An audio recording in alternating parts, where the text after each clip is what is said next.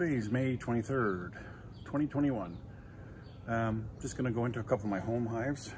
This hive we requeened about three weeks ago. Um, since I've found five queen cells and no queen.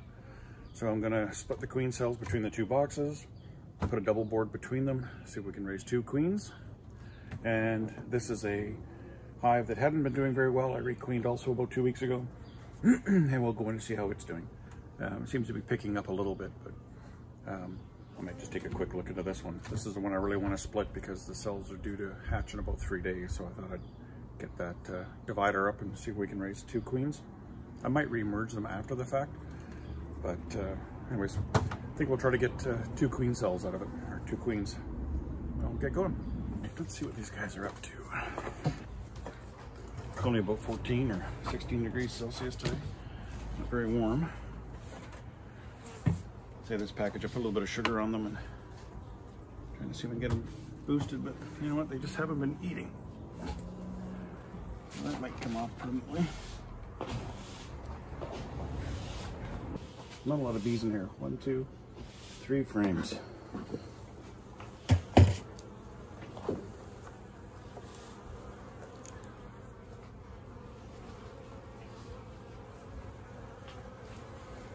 There's the queen.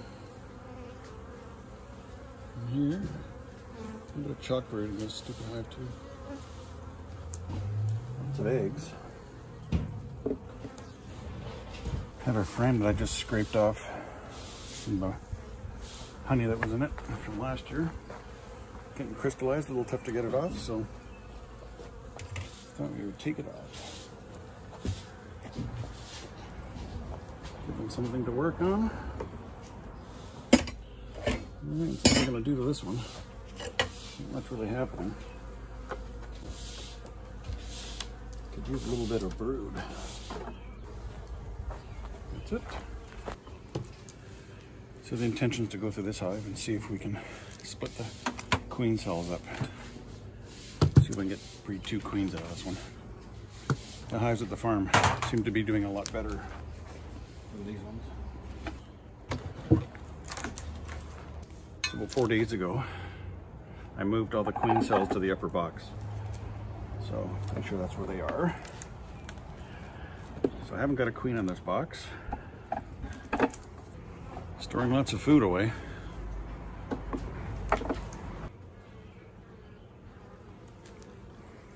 Nothing as to be expected. Sure quiet for a queenless hive, but I guess they got queen cells. Lots of brood coming out in this.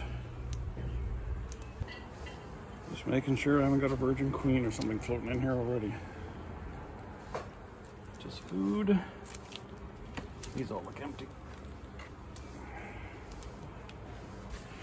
So this is the frame that has three queen cells.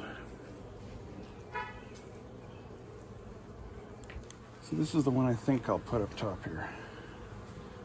Or sorry, down below. Okay, this has got one here.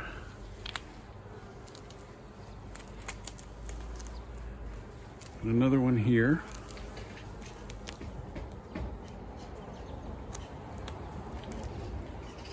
So we're gonna make sure we leave this one in the top.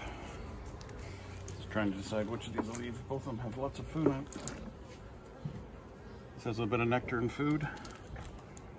I'll leave this one.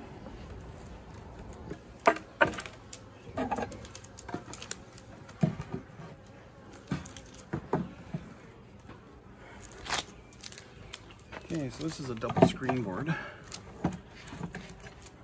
It's got wire mesh top and bottom. I think I'm going to remove this divider.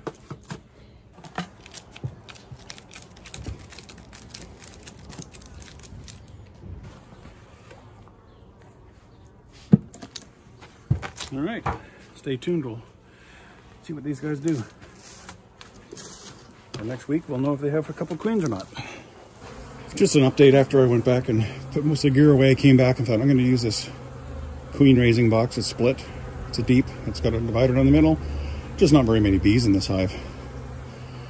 So I just put uh, basically three queen cells on one side, four on the other. And you can see there's not many bees, so We're just gonna see if these guys can survive.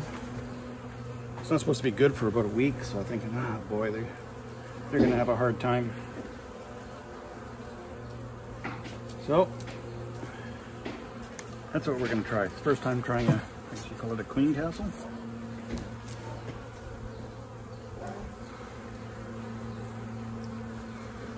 Put that there.